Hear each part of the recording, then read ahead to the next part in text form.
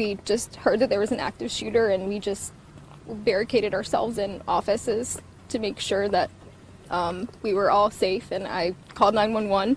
We we heard gunshots. We kept hearing gunshots and we kept hearing the cops saying get down and there's I don't I don't know what would possess somebody to just come in and just start shooting at people. We do know that shortly after 4 p.m. this afternoon, the suspect entered Building 2.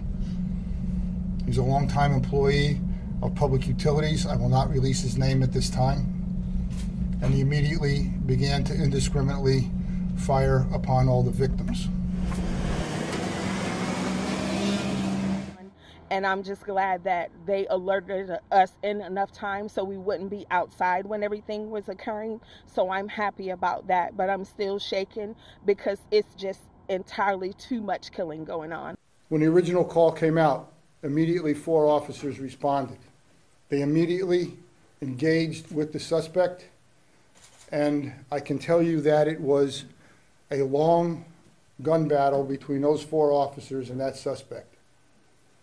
We've recovered a 45 caliber handgun with multiple extended magazines that were emptied at the time.